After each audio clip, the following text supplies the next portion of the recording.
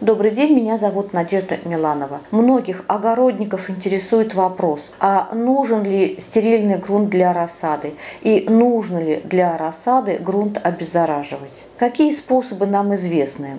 Пропаривание, прогревание, прокаливание грунта в духовке, на плите или в микроволновке промораживание на участке или в холодильнике, обработка препаратами химическими или биологическими. Для чего все это делается?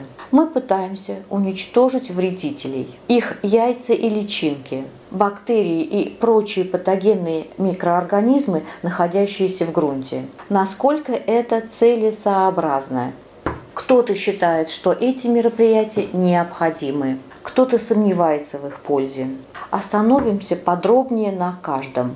Если мы прогреваем грунт, но недолго и не сильно, то такое прогревание не может уничтожить всех вредителей и возбудителей болезней. А если мы будем прогревать долго и сильно, то уничтожим всю микрофлору, и вредную, и полезную. Это будет мертвый стерильный грунт. И такой грунт придется оживлять при помощи внесения фитоспорина, М-препаратов или биогумуса.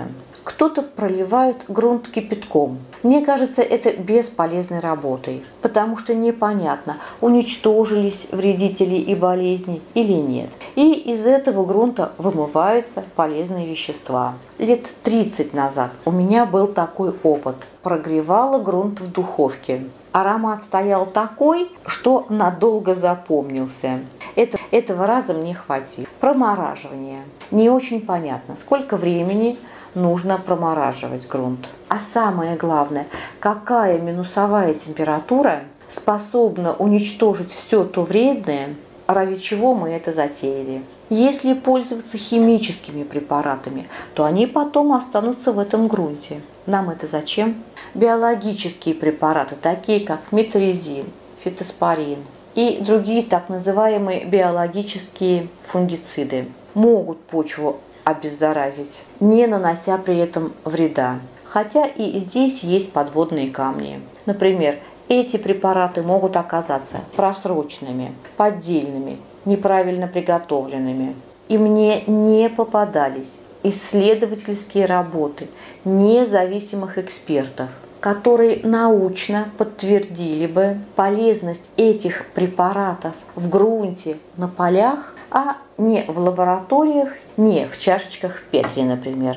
И да, одни огородники, которые пользуются этими препаратами, утверждают, что польза есть. Другие, что пользы нет. Третьи, что эти препараты могут нанести даже вред. В качестве обеззараживания грунта некоторые используют материалы естественного происхождения.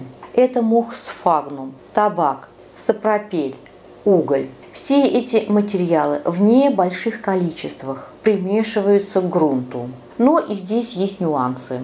Мох слегка подкислит почву, уголь наоборот раскислит. Табак в грунте для рассады не использую. Были случаи, когда такой грунт покрывался плесенью.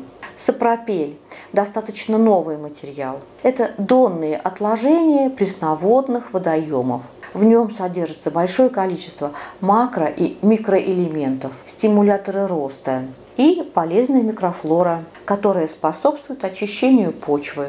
Это обеззараживание грунта, но не его стерилизация. Основной аргумент против стерилизации. Если растения выращивались в стерильной среде, они не вырабатывают иммунитета.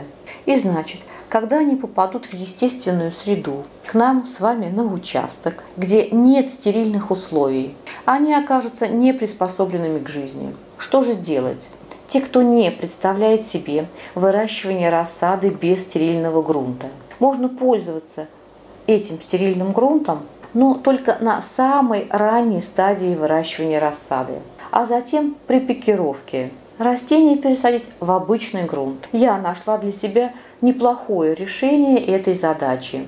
На самой ранней стадии пользуюсь обычным покупным недорогим грунтом. Его много не надо.